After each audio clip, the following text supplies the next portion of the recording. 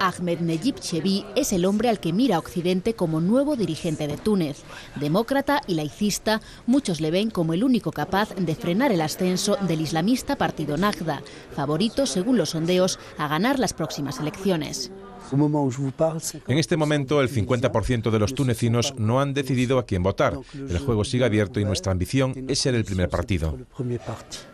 Esta semana, en su visita a España, Chevi ha asegurado que los islamistas quieren imponer la religión como ideología de Estado y que su partido va a hacer todo lo posible para evitarlo. Mi partido ya ha establecido consultas con otras formaciones para constituir, si es preciso, una gran coalición el día siguiente a las elecciones.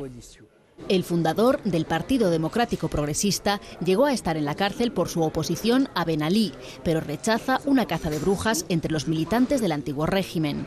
Los que no han cometido crímenes deben poder presentarse a las elecciones y son los ciudadanos los que tienen que juzgarlos en las urnas.